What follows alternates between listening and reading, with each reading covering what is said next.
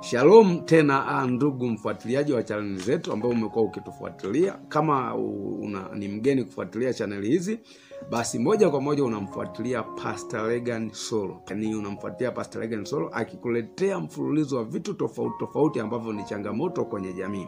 Lakini leo nataka nikutafsirie ndoto nyingine ambayo ni changamoto. Watu wamekuwa wakinitumia ndoto ambazo ni changamoto sana. Sasa ukiona zikiwa nyingi sana za aina moja, inanibidi sasa nizilete eh, kwenye channel kwa namna ambavyo watu sasa wataziangalia wata wata wata na namna ambavyo tutatatua changamoto hiyo kubwa. Sasa umekuta watu wengi wanaota ndoto zinazofanana. Kwa mfano, watu wanaota, walio wengi wameota kwamba wamekamatwa na polisi au wanajeshi, anakuta amekamatwa. Hata mimi mwenyewe hivi karibuni niliota ndoto hiyo. Niliota kwamba kuna gari la polisi wamenikamata, wamenifunga kwenye lile gari. Sasa ndoto kama hiyo eh, ni ambao watu wengi pia wameota. Sasa ni kwamba wameota wamekamatwa na polisi au wanajeshi, alafu kuna mahali wana wanawapeleka ndoto hii sasa sio changamoto sana. Lazima ujue kwamba ndoto hii sio ngumu wala sio nyepesi lakini pia inategemeana na unatafsiri kwa kutumia nini. Lakini hapa mimi nataka nitafsiri hii ndoto kwa kutumia maandiko matakatifu maandiko matakatifu. Na hii ndio njia ambayo naitumia nikuambia kwamba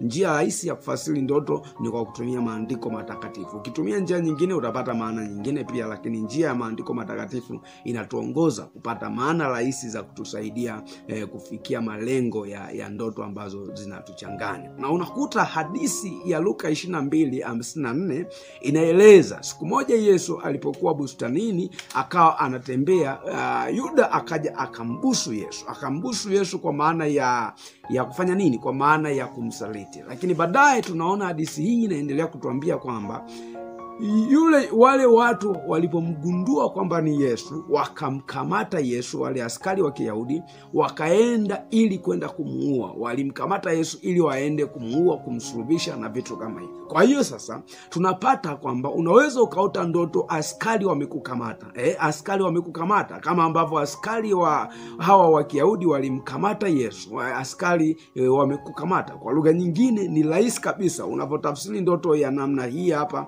ni rahisi sana sana kuitafsiri kwa maana ya, ya, ya kuiweka katika maana. Kwa lugha nyingine adui zako tayari tayari wameshapata target wamekuweka kwenye mikono yao. Wale adui ambao walikuwa wanafuatilia maisha yako kwa muda mrefu tayari wamesha kuweka umesha nasa kwenye mtego wao na tayari wameshapata target na kukukamata. Kama hawajakukamata basi tayari ramani waliokuwa wanachora umeingia kwenye ramani zao. Kwa lugha nyingine hawa watoto wa mtaani wanasema umeingia kwenye kumi na nane za adui. Tayari uko kwenye kumi na nane za adui. Muda wowote unaweza ukanaswa na kuingia kwenye matatizo makubwa watu wanaoota ndoto wamekamatwa na, na, na, na polisi kwenye ndoto. Ndio hawa watu unashangaa baada ya siku tatu alikuwa ofisini anafanya kazi vizuri ta, anapata kesi. Anapata kesi kwamba ameihujumu taasisi anafungwa gerezani. Au unakuta mtu wa namna hii sio tu anapata kesi au ghafla tu unakuta mashtaka ya miaka ishirini yanakumbukwa kwamba huyu mtu alikuwa mwizi sijui na nini na nini na nini aliibaga hela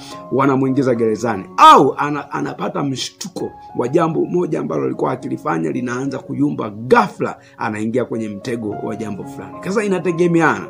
Kama walikuwa wamekukamata wame, wame wamekufunga pingu maanaake umefungwa kipingu eh, umefungwa kifungo fulani. Kama umefungwa pingu mikuuni mikononi basi kuna kifungo umefungwa katika huko kukamatwa. Na wakati mwingine hizi ni roho wakati mwingine ukifuatilia ni roho za mizimu na vitu kama hivyo eh, ambazo zinatesa watu wengi sana. Nikuache nisiendelee kufasili ndoto hii na tukutane wakati mwingine nikikuletea aina nyingine ya ndoto ambayo pia ni changamoto au jambo jingine ambalo nimeona ni changamoto kwenye jamii.